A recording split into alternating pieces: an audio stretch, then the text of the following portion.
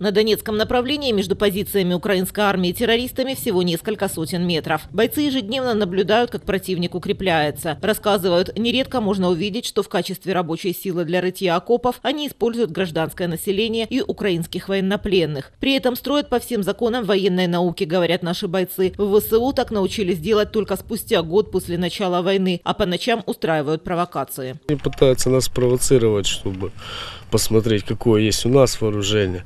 То есть в основном они провоцируют. Так, чтобы вступать в конкретно длительный затяжной бой, такого они не допускают. Говорить о том, что это ополчение, это, конечно же, не ополчение.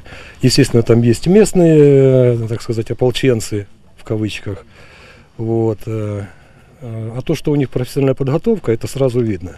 То есть по, мере, по манере ведения боя, вот, прохода диверс- диверсионных групп, э, ко- которые заходят в зеленку к нам или подползают, это работают профессионалы.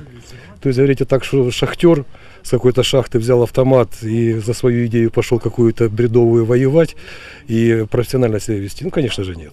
При этом украинские бойцы знают, что в напряжении им приходится находиться не только из-за террористов, но и из-за местных сепаратистов. Многие жители не скрывают своего сочувствия к так называемой ДНР и считают, что большинство их проблем именно из-за украинских военных. Напрягает. солдаты Батальоны у нас, которые ходят, все равно как бы тихо, но в ожидании чего-то. Постоянно что-то внутри, так знаете. При этом местные жители уверяют, что война надоела абсолютно всем, в том числе и тем, кто остался по ту сторону линии фронта. В основном друзья тех, которые там работают, учатся. Ну, если в ополчении, ребята. А они что говорят?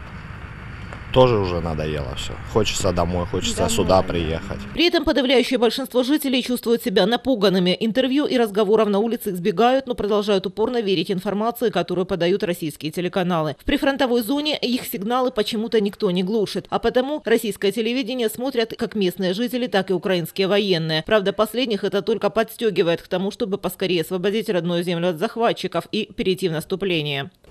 Мое личное мнение, я бы скажу даже больше желание, до освобождения всех украинских земель полностью, включая Крым. То есть надо идти в наступление. Да. Пока же продолжается позиционная война, и как скоро здесь что-то изменится, люди не знают. Марина Николаева, Александр Проценко, агентство телевидения новости.